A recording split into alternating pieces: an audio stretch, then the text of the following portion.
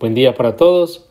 El día de hoy en este video vamos a estudiar ecuaciones lineales que tienen una variable o incógnita en ambos lados de la igualdad.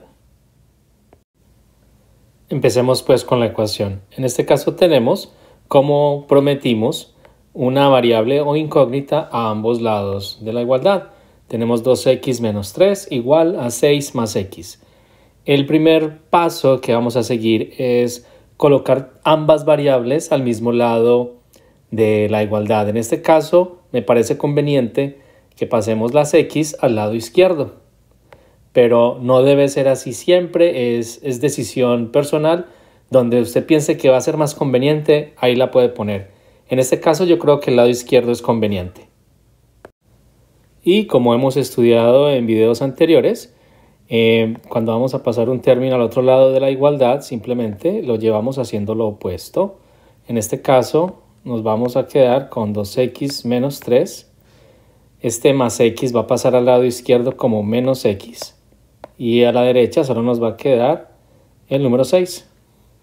Vamos a simplificar estos términos semejantes. 2x menos x nos da x menos 3 queda como está, igual a 6. Ahora vamos a pasar el menos 3 al otro lado de la igualdad y va a pasar a ser lo opuesto.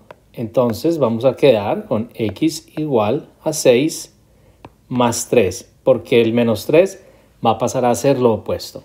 Entonces vamos a encontrar que el valor de x en esta ecuación es de 9.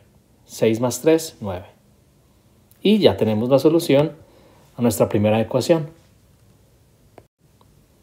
Rápidamente vamos a verificar si el valor de x es en realidad 9. ¿Cómo lo vamos a hacer? Sustituyendo la x por 9. Entonces vamos a sustituir la x acá y acá y vamos a usar 9. Entonces empezamos 2 multiplica 9, le restamos 3, va a ser igual a 6 más 9. Vamos a ver si esta igualdad se cumple.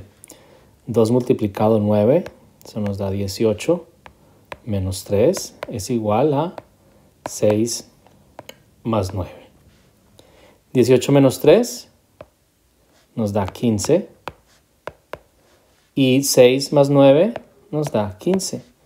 Entonces tenemos que cuando verificamos y le hacemos la prueba a esta ecuación, con el resultado que obtuvimos, x igual 9, verificamos que la igualdad se cumple, o sea que está correcta. Sencillo.